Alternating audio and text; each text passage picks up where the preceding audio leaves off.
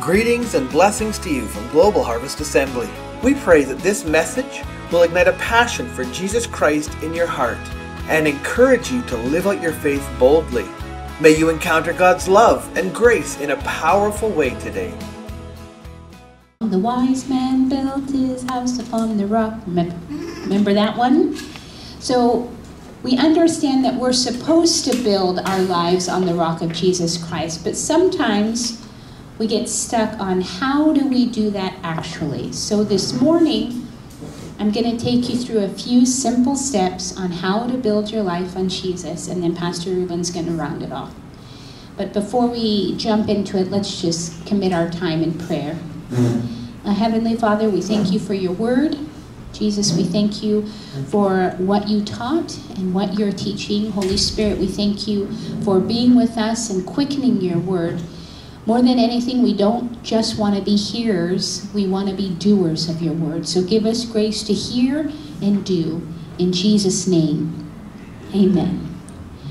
Well, this concept of building on the rock is taken from Matthew chapter 7, that song that we learned in Sunday school about the wise builder and the foolish builder. It actually comes from Matthew chapter 7, verse 24. And this is Jesus teaching. So Jesus is telling a crowd of people. He says this Therefore, everyone who hears these words of mine and puts them into practice is like a wise man who built his house on the rock. The rain came down, the streams rose, and the winds blew and beat against that house. Yet it did not fall, because it had its foundation on the rock. But everyone who hears these words of mine and does not put them into practice is like a foolish man who built his house on sand. The rain came down, the streams rose, and the winds blew and beat against that house, and it fell with a great crash. So, this is a story that Jesus is telling the people. Now, what's interesting is he says, Therefore, everyone who hears these words of mine and puts them into practice. So, he says we can't just be hearers of the word, we have to be doers of the word. But even more specifically, this comment is made after one of the greatest sermons he preached. Does anyone know what that sermon is called? Sermon of the Mount, the Beatitudes, where he gives out all of these descriptions and what it is to live a godly life. So I actually am going to give you homework. I want you to go back over this week and I want you to read chapters 5, 6, and 7 in Matthew. Because Jesus says, if you hear these words and you practice them, then you are building on the rock the rock of his truth, the rock of his revelation, the rock of Jesus. So I want you to go back and, and read chapters 5, 6, and 7. What's interesting is Jesus tells you he doesn't say if you build on the rock, there will be no storms. He doesn't say if you build on the rock, there won't be any storms, but if you build on the sand, there's going to be storms. No. The storm comes. The storm comes whether you built on the rock or the sand. But how we endure that storm depends on what our foundation is. So when we talk about foundation, you know, it's, it's the base for which you can build your structures. So Tangent Point has a foundation, and because of that foundation, they're able to build upwards. I'm going to show you a picture of what happens when you have a faulty foundation in the natural. Yes, yeah, yes. So this this happened in 1980. And Dave, you, uh, you remember where was it? Ampang, okay? KL. All right, it's one of the most devastating building collapse in Malaysia's history. So this is an entire tower that just fell. Why? Because after heavy rains, um, they weren't maintaining the retaining wall. There was a massive landslide, and this whole structure came crashing down.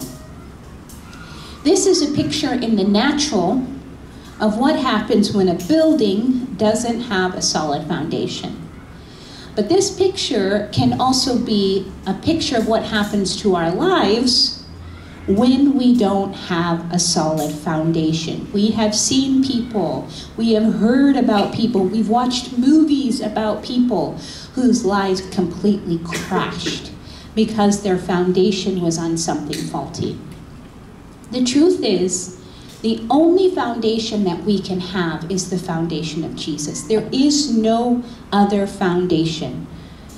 If you build your life on anything other than the truth and revelation of who Jesus is and what he taught, you're going to crash eventually. It's guaranteed. There's only one solid foundation. Now you might say, well, you know, I believe in Jesus. I have my life is built on Jesus. I'm a Christian. I come to church on Sunday. But I'm going to challenge us to really examine whether or not our lives are truly built on the rock of Jesus Christ. Some of the common foundations that we build on reputation, talents, looks, abilities. There are people who build their whole lives on their own ability, on their physical strength, on the way that they're perceived by others, the opinions of people people who build their lives on their bank account. They build their lives on their connections, their titles. But guess what happens? Any of those things can change in a blink of an eye. When I was growing up, the, the Superman that I grew up with was Christopher Reeves. Christopher Reeves, he was handsome, he was strong, he played Superman, he was completely and totally um, indestructible, right? Well, what happened to him? He got into a terrible accident falling off a horse, broke his back, was paralyzed. In a moment, the iconic figure, Superman, lost his ability to control his own body in a moment. And if you go back and you do interviews with him and how he's reflecting on his life, you realize how easy it is to build on the foundation of your fame, your status, your success, your ability to do things. But in a blink of an eye, all of that can change. When you build on Jesus, guess what? That doesn't change. He says, I am the Lord God and I do not change. He is the same today, yesterday, tomorrow, and forevermore. That's why we have to build on Him. Because your status may change, your health may change, your bank account may change, your abilities may change, your connections may change, but Jesus does not change. So that's why we have to build on Him. Now you might be wondering, well, how do we build on Jesus? Don't we just say that we're a Christian? Well, that's the first step. The first step, of course, is faith. Faith in believing that Jesus is who he says he is and he can do what he says he can do. So, believing in Jesus, of course, is the very first step in following after him and building your life on him. But you know, it's not just about saying, I believe in Jesus. Because there are scriptures that talk about how the demons even know who Jesus is, but they're not saved. So it's not just about, oh, I go to church on Sundays, or on my IC, I have the designation Christian, or I consider myself as a Christian. It can't just be that. Faith is the first step, but it's followed by having a real relationship with Jesus Christ. Relationship is key. You know, when Jesus was giving the Sermon on the Mount, when he talked through the Beatitudes, uh, chapters 5, 6, and 7, and Matthew, he talks about if you really want to inherit the kingdom of heaven, our righteousness has to exceed the scribes and the Pharisees. The scribes and the Pharisees had the outward appearance of being holy and righteous. They had the outward appearance of following the law, but their hearts were a million miles away from God. That's where relationship comes in. If you say you're a follower of Jesus, it has to be followed up with a relationship. And you know, if you're only meeting with someone occasionally, I don't know what kind of relationship that is. To build our lives on the rock of Jesus Christ, we have to have a close relationship with Jesus. And we know that we have a relationship with Him because we obey what He tells us to do. Right? When we walk closely with Jesus, we are compelled to become more like Him. When we spend time in His Word, we are challenged to obey what He tells us to do. And the part of that obedience is what Pastor Ruben has preached this before. It, it's about an alignment. You know, when, when I come to the Bible and when I spend time with the Lord, I have my own ideas. I have my own expectations. I have my own standard of what I think is right and what I think is wrong. And then I sit down with the Lord and I open up the scripture and I read what He thinks, what His standard is, how He evaluates righteousness. And I can't just say, well, that's Jesus' way, this is my way. No, if I have a relationship with Him and I'm committed to being a disciple, I have to align my thinking, my lifestyle, my choices, my daily walk with what the Bible says.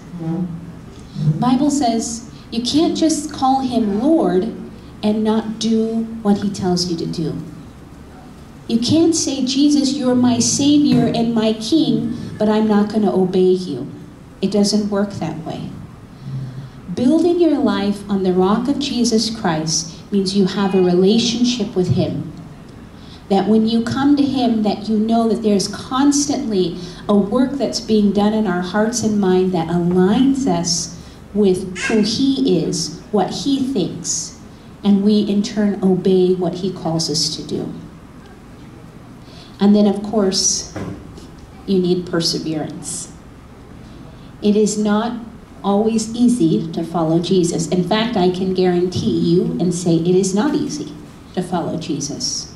It's countercultural, especially in our day and age where we've come out of humanism and man is king. Man is in the center of the universe. Everything begins and ends with man. So it's not easy to follow after Jesus.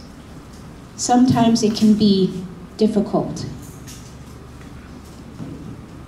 There was one slide that helps us in being able to have that relationship and being able to obey and being able to persevere, and it's actually community. Do you know it's difficult to follow after Jesus in isolation? There are people who have to do that because they're the only believer in their village. But as soon as they latch on to other believers, boy, isn't it a lifesaver. We cannot do this in isolation.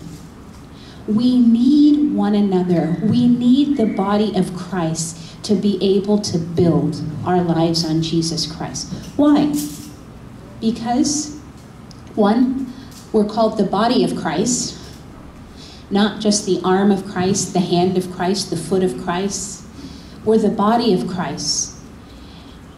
And we work together. We fulfill our potential. We achieve our purpose by being connected to one another. We also have shortcomings and blind spots. So by being connected with each other, we can help each other out. There might be a day where I'm feeling weak and discouraged. I'm physically exhausted. I'm downcast. My brother and sister in the Lord comes around me, puts their hand under my arm, helps lift me up. We can do this. And then they have a moment of weakness where they're feeling discouraged. When they're feeling hopeless, I can come and put my arm around them and say, No, we can do this in Christ Jesus. We encourage one another. We spur on each other into good works. We challenge one another. And there are times when we'll, in love, confront one another. But to build on the rock of Jesus Christ, we need each other. That's the way that God created us to be. We need a relationship with Him, and we need a relationship with His body so that we can fully come into all that He has for us to do. So, this morning, remember, make sure you're building on the rock of Jesus Christ. If there's anything in our life that is based on a foundation that is outside of Christ, stop building on that. Repent of that. Get rid of that. And ask the Lord to help you build again. Because if you build on anything other than Christ, like the building that collapsed, rains come, storms come, troubles come, challenges come. And if we don't have a strong foundation, we'll crash. So you need to build your life on Christ. Pastor Ruben?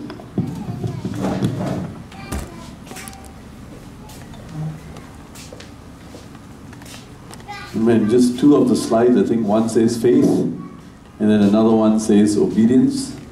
And Galatians 5 6 connects those two words, and it says the only thing that counts is faith, obeying or faith working through love.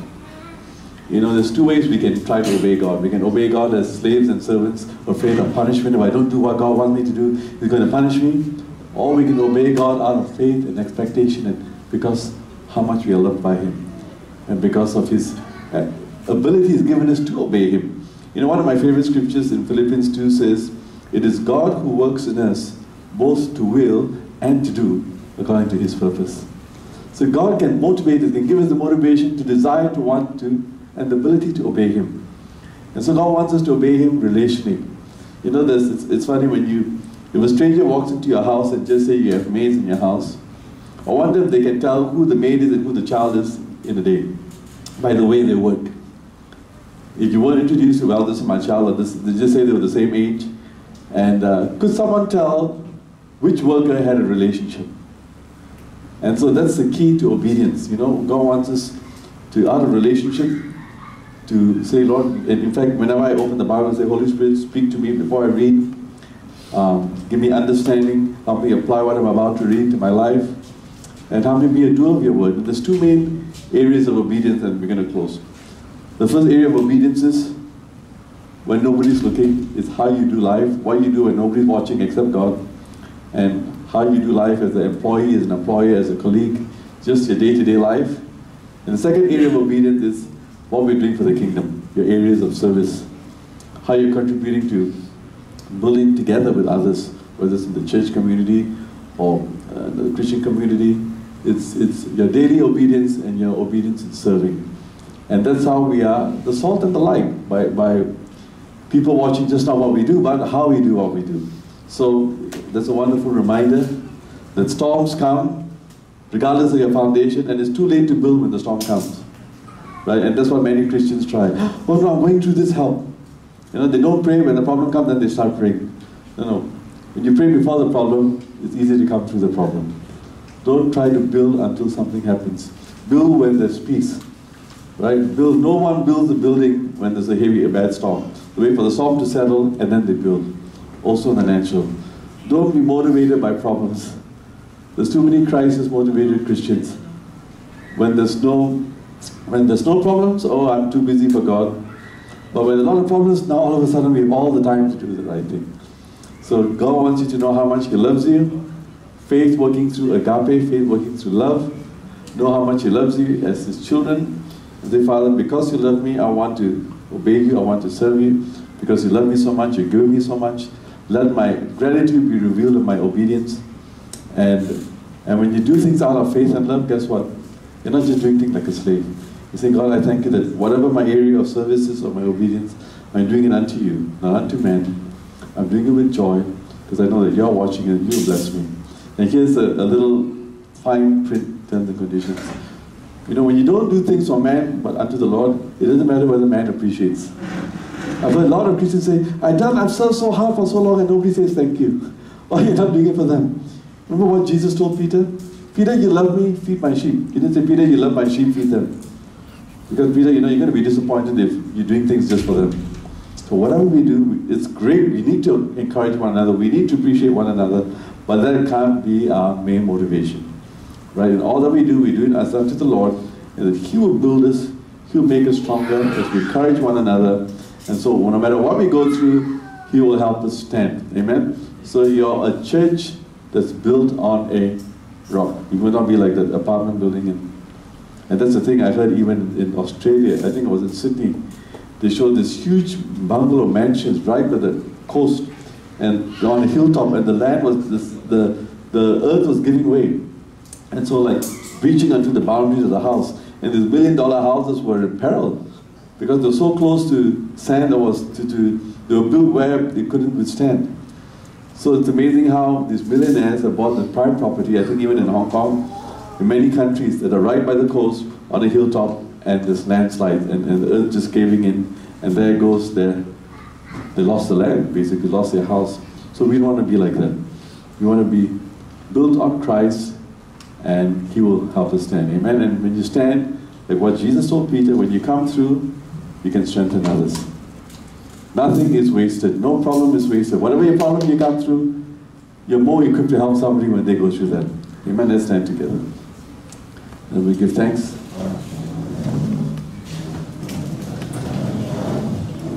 Okay, I think the food is on the way. I assume outside.